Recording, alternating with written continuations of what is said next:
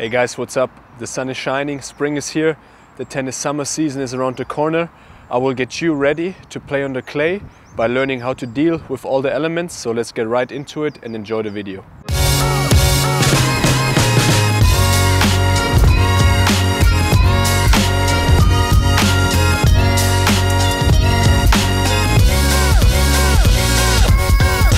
So it was a long winter. We've played indoors pretty much from end of September until now. And indoors, the game is different. It's pretty much always the same, except for maybe the surface. It could be a little bit colder or warmer, but uh, there's no sun hindering you, there's no rain delaying the match, and there's no wind blowing. So now it's outdoor season, and you kind of have to relearn tennis in a, in a way. It's a completely different game and today I will share with you how to deal with all of the elements. Hey guys, really important, if you like this type of content, make sure you subscribe and also leave me a comment of what type of topics I should talk about in the upcoming videos. And for more content, also check out my Instagram and TikTok. It's also Hendrik Jebens. And uh, now back to the video to kick ass in the outdoor season. So let's start with the most obvious and one of the most annoying things when you get back outdoor, the sun. So especially early in the season, it can feel like it's very bright when you come outdoors. When you're working inside uh, the whole day, sitting in office, sitting in school, and then you go outdoors to play tennis, the sun can be very hindering. So obviously a really easy fix is uh, to wear a hat. And also, if you have a lot of problems, you can think about uh, sports sunglasses what I personally do is if I have a match on that day, I don't wear my sunglasses around. Normally it's very important to wear sunglasses uh, to protect yourself from the sun. Also make sure to wear sunscreen because you can burn very easily in the beginning of the, the summer and the beginning of the spring. But if you want to perform well in a match, don't walk around with your head down and sunglasses because then it will be so bright that you will be irritated. Then when you're on the match court, leverage also the sun. The sun will shine usually if you're righty, just aggressive during certain times in the day and just from one side of the court. So maybe early in the match, you can try to yeah, leverage the coin toss by letting your opponent start against the sun.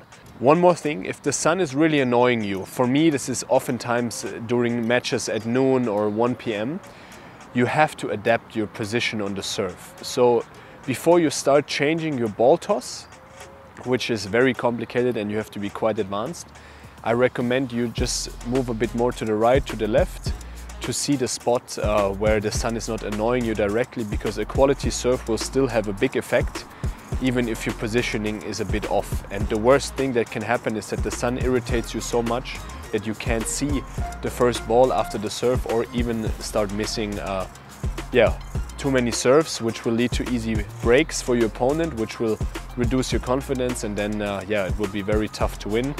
And uh, yeah, that's not the way we play because we will be prepared when we step on the court. The second important element to consider when playing outdoors is the wind. The wind can be very frustrating, especially if you're playing close to the water, to the ocean. It's extremely windy uh, but even if you're playing somewhere else far away from the beach, it can be still very windy and it's a very big factor to consider when playing outdoors. So first of all, you have a lot of less margin when playing with the wind because let's face it, we don't know how strong the wind will blow in any certain moment. It's just something that's out of our control. But we can still control the controllables. This is a very crucial aspect of tennis as well. So if it's windy and if it, the wind is blowing very strong, you have to give yourself more margin. Usually I'm a very big fan of not aiming to the lines, aiming close to the lines. But if it's super windy, you might even increase that radius. Like you might even go, yeah, instead of like a few centimeters, you will go a meter away from the line. Especially on clay, it is very difficult to finish the points even with very aggressive shots. The reward for going closer to the lines and hitting very aggressive are quite diminished and even more so if you have a very windy condition. Stay away, give yourself more margin because you have to reduce errors. Reducing errors is key on clay. The second thing is you have to get a feeling at any moment how the wind is going.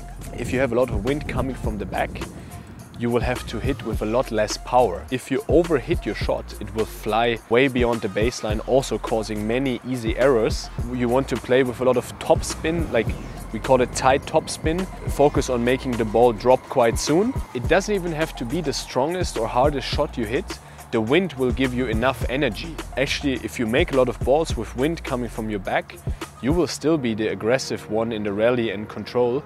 Because think about it, if you have the wind blowing behind you, the opponent is playing against the wind and has to play very, very intense shots. Bonus tip, if you want to beat me, plant some, uh, yeah, allergy trees uh, next to the court because then I will not be able to play. The other scenario is you play against the wind. You have a lot of wind coming at you. This is a very difficult situation, especially if you don't like to hit hard. The thing is, if you have the wind blowing against you, it will be very easy for your opponent, if he or she is clever, to put you in a defensive position. So an important thing is when playing against the wind, you have to give yourself room to hit harder than usually. It's uh, very weird to do that if it's not comfortable for you or if you don't do that, but you have to do it because if the wind is going against you, it is very tough to make a mistake um, that the ball flies like too far. So you will be surprised how hard you can actually hit and you can also surprise your opponent if you hit very hard. She might think or he might think that, uh, yeah, I'm in control, I have the wind in my back. And then out of a sudden you're hammering the balls right before the line and it will confuse them and then they will make errors, they will be out of position. So really stick to hitting aggressive uh, when the wind is blowing against you.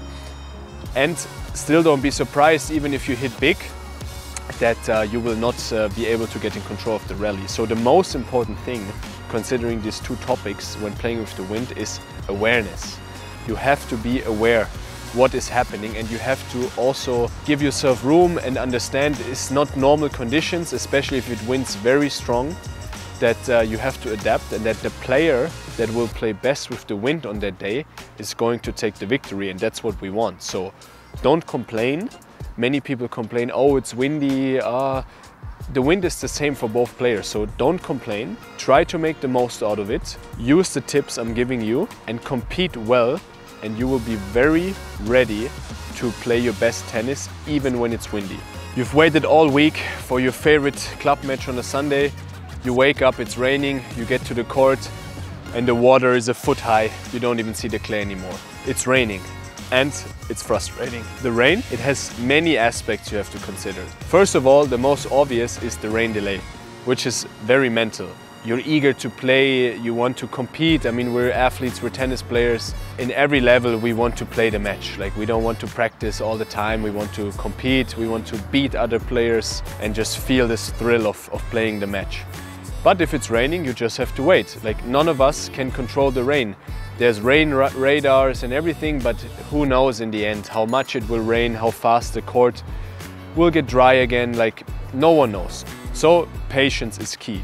And with patience also comes being clever to be ready when it starts. So one, focus on nutrition. Don't uh, sit around the whole day and eat nothing, don't drink anything. If you can tell it will take some hours until you play, make sure you eat something because you need energy. This is a big mistake. I've made this as a junior. It was raining and then I thought, oh, it's gonna start soon, it's gonna start soon. And then I played six hours later, but I didn't eat and I had no energy and I lost the match easily. So don't give away matches like this. So eat, but also don't eat too much. Like don't eat a full meal if someone said, ah, the courts might be ready in 30 minutes. So you keep talking to the people that are in charge, that are supervising to know when it starts. Then secondly, mentally you have to stay sharp. So if you know it will take some time, relax, you know, talk to your teammates, talk to your parents, talk to your friends, significant others, maybe make a phone call if you're alone, watch something else, have a coffee, you know, like decompress. Like no one can be match ready the whole day.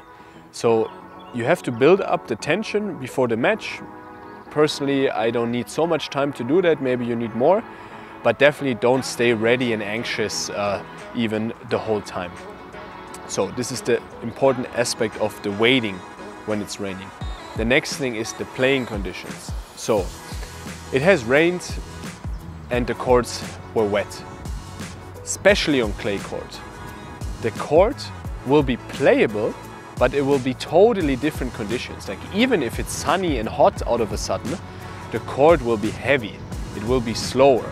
So if you're a big hitter, your shots will have less effect, but they will still have more effect as opposed to a player that's maybe more defensive and probably has a weaker second serve. So you have to keep all of these things in mind. You cannot get frustrated if your big shots are not working like usual, but you can still try to take cuts here and there and attack very weak shots of your opponent because when it's slow, you have more time. And so if you're a defensive player and maybe you don't have the biggest second serve, then in wet and heavy conditions, focus on making a lot of first serves and then embrace your defensive qualities by making a lot of balls, giving your opponent one more ball to strike and they will go crazy because they think oh, I'm hitting big, I'm hitting big, but the court is slow. And yeah, then you can leverage it this way. But if you don't make a lot of first serves and you can be really attacked on your second serve, it might still be tough, even if you defend well in the longer rallies. But then if you lose almost every second serve point, you will be under pressure, which will also make the defending a lot tougher because even defending players, just as offensive players, they have to execute well on their plays. Like this is also something many people don't think about. Both sides have the pressure of playing well. Like just because you're a big hitter and the other guy makes balls, it's not easy for him. And on the other side, if you're a defensive player and you're getting crushed by huge shots, it's not easy for the other guy. Like you always, or the other girl, you always have to play well and execute. And this takes a good mentality. And if you're not prepared for the heavy rainy conditions and think about what happens, then it's really tough to do that. So we had the three elements, wind, sun and rain. The key thing I want you to know is be aware. Be aware of the conditions outdoors. You constantly have to think and re-evaluate how is the sun now, how is the wind, how, are, how is the rain, how are the conditions even changing. Like indoors the match is the same condition the whole time. Outdoors the conditions change. Now it's windy, now it's raining. So always before every point make a quick mental effort or at least before every game how are the conditions how can i kind of adapt my game bit more topspin maybe bit more power against the wind changing my serving position reminding myself the conditions are very slow because of the rain and you will have all the tools for success for the outdoor season and to maximize your tennis potential.